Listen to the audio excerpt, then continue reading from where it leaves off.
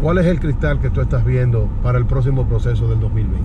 Mira, eh, yo estoy viendo el proceso del 2020 con tres candidaturas importantes.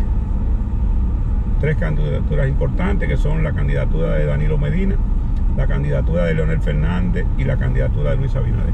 O sea que ya tú lo estás sacando del sí, PLD. Sí, yo estoy eh, sacando ya eh, lo que ha acontecido en el PLD y lo que está aconteciendo no va a permitir que fuera de encuentro y fuera de levantarse la mano, fuera de un chiste, de reírse, lo que va a acontecer en el PLD va a producir un sismo político. ¿Y tú crees en la gran fortaleza de decisión del doctor Leonel Fernández para irse del PLD? El problema de Leonel Fernández es que la gente que lo está rodeando en este momento se ha radicalizado y tienen una ofensa continua contra Danilo Medina y también están radicalizando la gente de Danilo Medina. Y él va a tener que obedecer a ese sector radical que tiene, que encabezan los eh, castillos y dirigentes del PLD que se sienten molestos con la gestión de Danilo Medina porque no lo ha tomado en cuenta. Esos van a provocar una situación de que Leonel Fernández tenga que asumir una posición, pero el mismo Leonel Fernández eh, no creo que pueda devolverse de las acusaciones que le ha hecho a Danilo Medina, como es la acusación de dictador, y ha dicho en reiteradas ocasiones que él va a defender la constitución de la República. Y aquí la constitución no está en juego. Pero ¿cuál, Modificar la cuál constitución, constitución? no es poner a peligrar la constitución. ¿Qué artículo de la Constitución él va a proteger? ¿Y qué artículo de la Constitución él mismo ha violado? Habría que preguntarle a Leonel Fernández porque él, él fue uno de los propulsores de la reforma constitucional del 2010.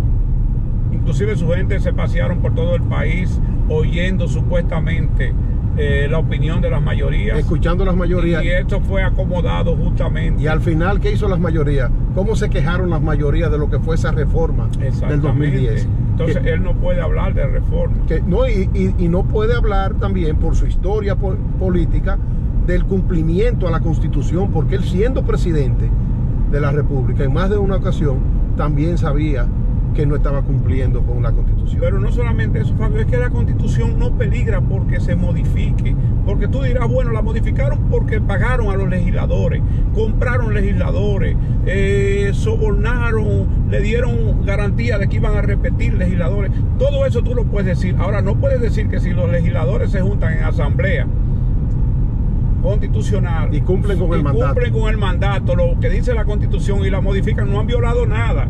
No te puede gustar y tú puedes decir, bueno, pero otra vez modificaron la constitución para beneficiarse de manera particular. Bueno, pero no violaron ninguna ley. Entonces, ¿qué es lo que Leonel Fernández dice? Que va a, a- a luchar por defender la constitución de la República. bueno él luchará porque el proceso se haga de manera correcta Bueno. y se cumplan todos Ah, los bueno, pasos si es así, entonces eh, quizás es un asunto de semántica y no lo hemos comprendido. Mira, y ese equipo político que él tiene, que lamentablemente las decisiones que ha tomado y las intenciones inclusive que ha expresado dentro de este proceso para volver a ser candidato, las sentimos erráticas y no dan los resultados. Sí, ellos están, a ellos parece que están interpretando el famoso cuento de Juan Bosch de El Visco. Tú sabes aquel cuento de que, eh, eh, no te lo voy a hacer completo porque entonces llegaría mucho tiempo, pero eh, Juan Bosch decía que un visco por su situación estaba mirando dos toros y le corrió al toro que no era y se encontró con el toro que era. Entonces ellos le están corriendo al toro que no es, porque no es a Danilo Medina que tienen que atacar. Ellos tienen que hacer su trabajo y convencer al Partido de la Liberación Dominicana, convencer al pueblo de que Leonel Fernández es una opción de poder nuevamente. Entonces su equipo se ha radicalizado, eh, que Danilo, que por la reelección, pero al día de hoy todavía no se ha presentado ningún proyecto de reelección y ellos están perdiendo el tiempo hace muchos años o muchos meses eh, cuestionando la reforma constitucional que no se ha dado, se puede dar mañana, Bueno, pero no se ha dado la reforma constitucional. yo quiero decirte que en más de una ocasión he repetido que la manera como ellos pusieron el tema de la reelección para hacer la antireelección, o sea, queriendo impedirla, Sí. lo que ha hecho es que ha logrado llegar a un nivel de aceptación de la propia gente. O sea, nadie esta, mucha gente que no estaba viendo la posibilidad de que eso sucediera, ellos trajeron el tema a destiempo Sí. y con una mala estrategia de comunicación, como queriendo ser el camino temprano, y lo que hicieron fue que han impuesto el tema y hoy la gente entonces está apostando a que va a haber reelección. Ellos no solamente han introducido el tema de la reelección, sino que lo mantienen en el tapete y no saben que justamente mientras más se debate el tema de la reelección, más gente del pueblo quiere que Danilo continúe en el No, o poder. por lo menos va creando la credibilidad de que va a suceder. Y eso entonces se le da a ellos menos fuerza para luchar en contra. Sí, pero esa gente que va a Danilo, que se reúne con ellos, que no tenían posibilidad de ver a un presidente, que el presidente va eh, y le, como ahora mismo la planta eh, eh, térmica de, de, de Baní para la producción, la limpieza, el lavado del mango para la exportación. Ese agricultor que siembra mango, que ha exportado 138% más que lo que exportaba por el apoyo que Danilo le ha dado a la producción de mango, cuando ve la posibilidad de que Danilo se pueda reelegir, va a salir a apoyarlo. Y ellos son los que están manteniendo el debate. Y el doctor Leonel Fernández no, no se veía con esa gente. Eh, no, no se veía con esa gente. Porque Leonel, tú sabes que Leonel, si iba a un acto, Leonel, había una camioneta que iba escoltada con la silla para sentarse.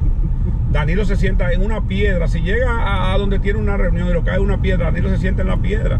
Danilo se sienta en la silla que tiene el que lo está esperando. Leonel Fernández no lo hacía, eh, eh, ni sus funcionarios iban a una visita sorpresa, a reunirse con los productores, a reunirse con los cooperativistas. Y Danilo ha hecho eso, por eso la aceptación que tiene.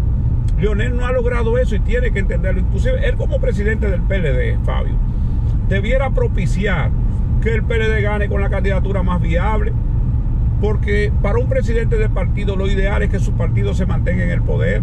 Y con Danilo Medina tiene garantía Leonel Fernández que el PLD se va a mantener en el poder. Y nosotros en nuestra generación no estaríamos apostando a un cierre de un ciclo político. Mira, el cierre del ciclo político se está dando. Se está dando porque la desaparición de los líderes tradicionales, de Juan Bosch, de Balaguer, Peña Gómez, Jacobo Magruta, ha permitido que gente con cuarenta y pico de años como Leonel Fernández llegue al poder, que eh, gente como Danilo Medina con cincuenta y pico de años llegue al poder. Ahora, ¿qué tienen que hacer las nuevas generaciones? Es trabajar, eh, eh, tratar de, contactar al pueblo, de tener salidas que le gusten a la juventud, entusiasmar la juventud para que se llegue al poder, para las transformaciones que la juventud quiera hacer. Pero mientras tanto, mientras tanto, estos líderes políticos que tenemos son de, son de este tiempo.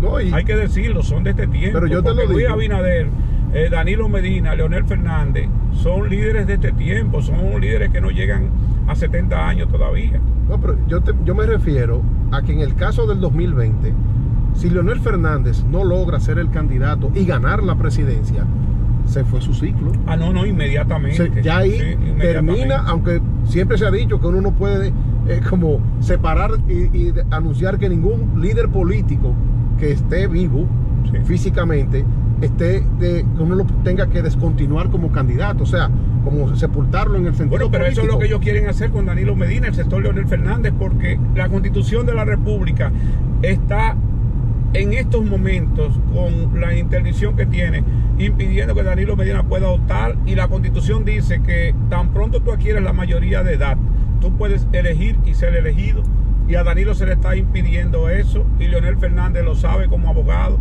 Sí, pero- Mientras Danilo Medina puede aspirar a un tercer mandato, Leonel quiere un cuarto y un cuarto con posibilidad de un quinto. Bueno, recuerda que siempre eh, se, dijo que él aspiraba a sustituir al doctor Joaquín Balaguer Sí. en cuanto a la cantidad de veces que fue presidente en nuestro país, aunque ellos le agregaron una coletilla que decía que en democracia moderna, que en la democracia moderna Leonel era el líder Pero- de la democracia. No es igual cuando Leonel salió del poder, los grupos sociales, los grupos populares se ensañaron contra Leonel Fernández y ellos no tuvieron la valentía que están teniendo ahora de enfrentar esos grupos. Y a esos grupos era que tenían que enfrentar, a esos grupos era que tenían que salir a decir, no, ustedes están equivocados, nosotros no gobernamos así, pero se fue empoderando la nación de esos actos sociales, que muchos de ellos eran indelicados, que muchos de ellos fueron aprovechados de manera oportunista por gente que se sentía dolido con Leonel Fernández, pero ellos no salieron a responder.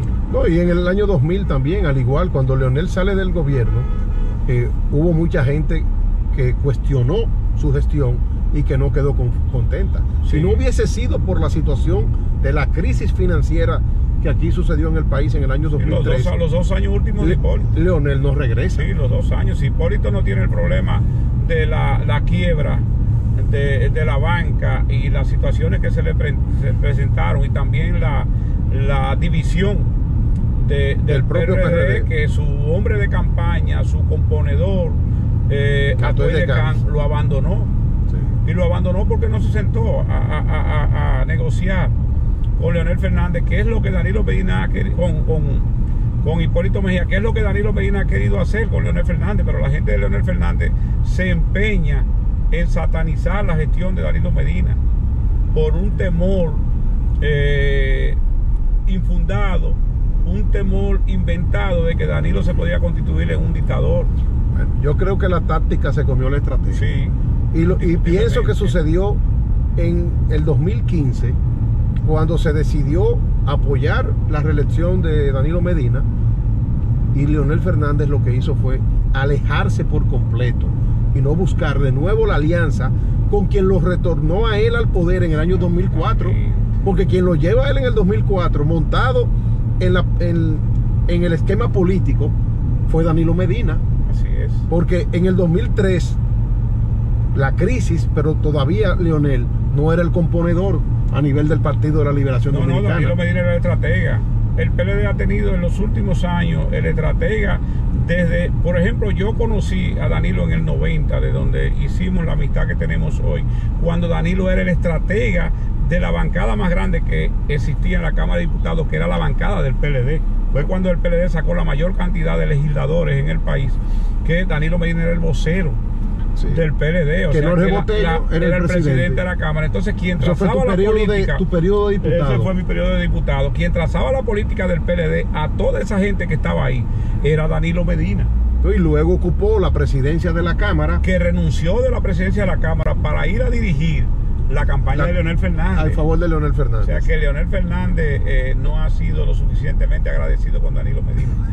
a, a- a pesar de los sacrificios. Sí, porque ¿quién es que hace, eh, eh, la- eh, eh, aplica la estrategia de que se reúnan con Balaguer y que le planteen a Balaguer la viabilidad de Leonel Fernández ser presidente con el apoyo de los reformistas? Es Danilo Medina, es Danilo Medina el que tiene la, la idea de ahí, eh, Miguel Coco, Euclides Gutiérrez Félix y Temístocles Montaz son los que arman el muñeco para convencer a Balaguer de que no apoyara a Jacinto Peinado y apoyar a Leonel Fernández. Fíjate que en la primera vuelta Balaguer no fue a votar por el candidato del Partido Reformista, que era Jacinto, Jacinto Peinado. Peinado.